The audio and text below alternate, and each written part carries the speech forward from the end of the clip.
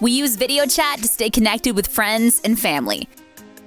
We use it for business. But did you know that you can also use video chat to see a healthcare provider?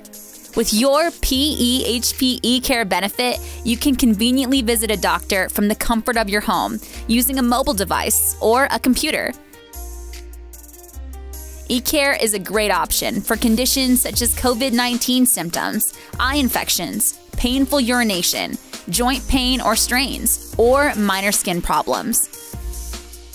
To get started, download the Intermountain Connect Care app.